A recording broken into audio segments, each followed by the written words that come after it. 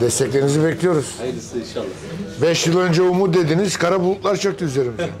Bu sefer yeni umutları deneyelim hep beraber. Kardeşim görüşürüz. Allah'a emanet olun. Oy kullanıyor musun? He? Nasıl abi? Oyun var mı? Oy kullanıyor musun? Oy kullanmıyorum abi. Kullanmıyor musun? Canın sağ olsun. Bizlerin dualarını bizden esirgeme. Kiminin oyu, kiminin duası. Tamam koçum. Görüşürüz. Kardeşim görüşürüz. Nasıl gider? Vallahi çok şükür. Siz Desteklerinizi bekliyoruz. Başkanım. siz Eyvallah. Sağ olun. Memleket Partisi Marmara. Oo, beyler selamünaleyküm. Selam. Nasılsın iyi misin kardeşim? nasılsınız? İşler nasıl? Hayırlısı olsun Sağ ol inşallah. Allah razı Sağ olun. olsun. Desteklerinizi bekliyoruz.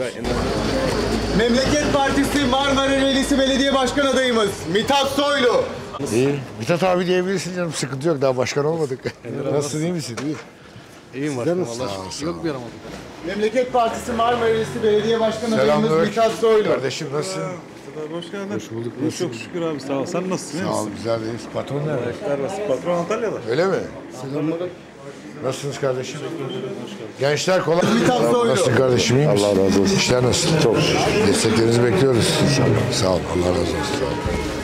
Memleket Partisi Marmara Selam gençlik. Belediye Başkan adayımız Mithat Beni Soylu. tanıyor musunuz? Sanıyorum da sabah sabah bu ne kalabalık be başkanım. Kalabalık mı? Vallahi nazar değdireceksin. Tükür de değmesin nazar. Biz kalabalık için uğraşıyoruz. İyi misiniz? İyiyiz çok şükür. Sizler Desteklerinizi nasılsınız? bekliyoruz.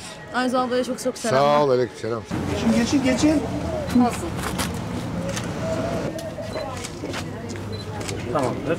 Bizim diyor. Evet bu memleket bizim. Neredeymiş fırın? Bizim diyor.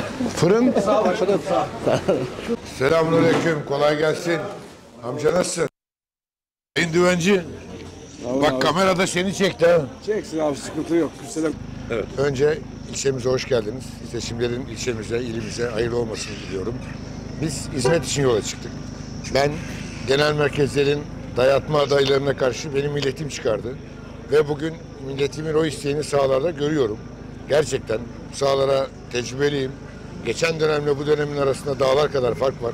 Halkımızda büyük bir teveccüh var. Bu gerek benim ismime gerek bugüne kadar 5 yıldan beri 5 yıl önce umut olarak bu ilçenin başına seçilen kardeşimizin 5 yılda hiçbir şey yapamaması, kötünün de kötüsüne gitmesi şartları buraya getirdi. Dediğim gibi ben sahaları güzel görüyorum. Günden güne daha da iyi olacak ama çok çalışmamız lazım. Siyasette çalışmadan kazanmak kazanılmaz. O yüzden biz sahalardayız. Benim en büyük artım bölge beni tanıyor. İnanın bugün 25 bin seçmenin 20 bine isminle hitap edebiliyorum. Esnafa giriyoruz. Sizler de görüyorsunuz. Yüzümüz tanıdık, simamız tanıdık. Geçmişte biz bu memlekete hizmetler ettik. Biz geçmişte yaptığımız hizmetleri örnek olarak gösteriyoruz ve bugün insanımızın huzuruna geldik. Ben inanıyorum bu iş olacak ama çok çalışma gerekiyor. Yeni çiftlikte geçen seferkiden daha da iyiyim. Seçmen sayımız aşağı yukarı 10 bin küsür yeni çiftliğim var. E, belde merkezinin, mahalle merkezinin, ilçemizin de nüfusu, merkezin nüfusu 11 bin.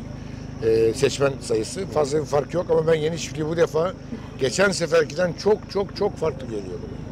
Yeni çiftliğin bana, benim de yeni çiftliğe birbirimize borcumuz var. Ben 2014'te yeni çiftlik için seçim otobüsünün üstünde çalışma yaptım. 2019'da bana sahip çıkılmadı. Ben 2019'un mağduruyum.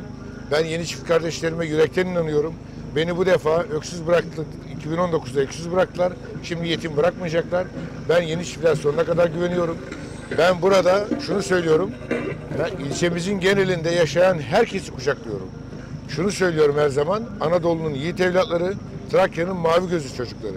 Ben bunu söyledikçe birileri özellikle beni, hele hele beni en son suçlanacak konudan ırkçılıkla suçluyorlar. Asla ve asla böyle bir düşüncem yok. Bu topraklar üzerinde yaşayan herkes bu topraklarda kardeştir, beraberdir. Ben bugün buradaki insanların birçoğunun aynı sofrada ekmek yedim. Aynı tarlada çalıştım.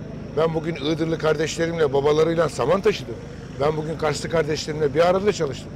Irkçılık benim yapacağım en son şey tamamen maksatlı çıkarılıyor. Ama bunlara ben yeri geldiğinde cevabını vereceğim. Geçen ben belediyeye disiplin getireceğim dedim. Olayları saptırdılar. Diyorlar ki gelirse ekmeğiniz oynayacak. Hayır kardeşim. Hiçbir belediye çalışanının kılına zarar gelmeyecek. Ben kimsenin ekmeğini oynamam. Özellikle bugün çalışan kardeşlerimizin hepsiyle birlikte biz bu şehre, bu insanlara hizmet edeceğiz. Biz Marmara Erisi Belediyesi'ni 5 yılda rant kapısı haline getirilen belediyeyi fakir fukaranın ekmek kapısı haline getireceğiz. Memleket için soylu yürüyüş.